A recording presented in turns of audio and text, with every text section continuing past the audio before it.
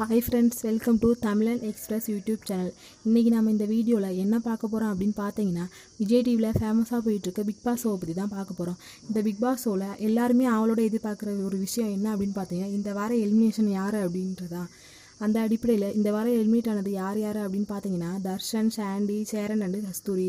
இவங்க நாலு பேரில் யார் ஓட்டு கம்மியாக வாங்குறாங்களோ அவங்க தான் இந்த வாரம் எலிமினேட் ஆவாங்க. அந்த அடிப்படையில் பார்த்தா சாண்டி அதிகப்படியான ஓட்டு வாங்கி ஃபஸ்ட் இடத்துல இருக்காரு. அதுக்கடுத்து தர்சன் இருக்காரு.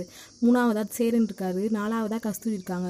ஏன் கஸ்தூரிக்கு ஓட்டு கம்மியாச்சு அப்படின்னு பார்த்தீங்கன்னா இவங்க பிக் பாஸ்க்கு வைல்ட் கார்டு என்ட்ரி மூலமாக வந்தாங்க.